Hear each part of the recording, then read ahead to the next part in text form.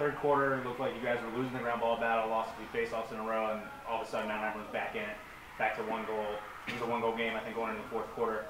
Um, you know, what was going wrong for you guys, and what did you see out of Hebron there in the third? Um, Kyle Brown. Um, Hebron really picked it up, picked it up, and started exploiting like weaknesses in our defense. Like a lot of times, we just forgot to communicate simply, and so they were able to exploit off that and come around crease. And we just forgot to slide a few times, and they just started picking up momentum, and they just kept it rolling until we were able to talk each other up and get it back and start playing our game. How'd you guys always have an answer for when they put it to one? I think three times it was a one-goal game. Um, obviously, it finished as a two-goal result, but how'd you guys, or what were you guys doing knowing that you were, you know, it was one goal ahead, it seemed like? Daniel Murphy. Um, I think that we weren't giving uh, the defense a very good uh, support on the offensive side at that point. Uh, we knew that if we settled the ball down, we were, we were going to score. We, were, we started to force the ball inside, make turnovers. That's what led for Heb- Mount Hebron to get those those couple run goals. And uh, I think once we settled down, we knew that we were going to be all right and just put the ball in the net. For either of the Daniels, uh, Kyle, what, second quarter made a big save, They're 35 for them, had a nice feed inside the 20, he makes a save, you guys get the ball out. How, how big was that particular save, if you know which one I'm referring to?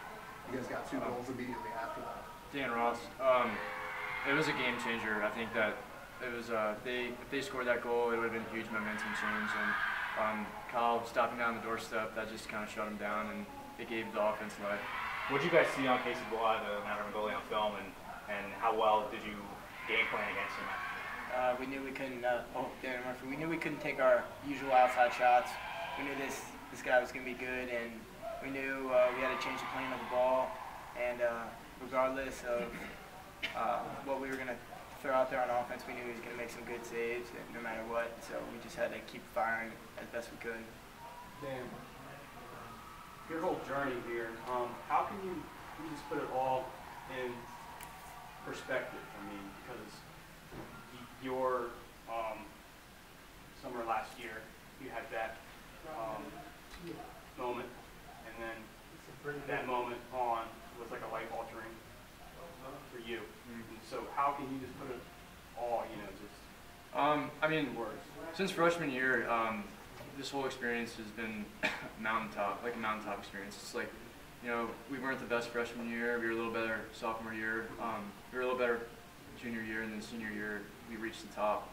And uh, I think it was just an incredible journey um, that I've been through with my, my coaches and my teammates, and I just I couldn't be more blessed to have a squad like Five that. goals, man. I mean, is this what you pictured? Um, I I mean, I was just, I don't know, I was just doing my job uh, for my boys. I, I don't, I didn't even know how many goals I had. Um, all I knew is that we needed, we needed to win because it was the last one, and we need to go big or go home. Coach, um, what can you say about Dan? Like, what has he Which done?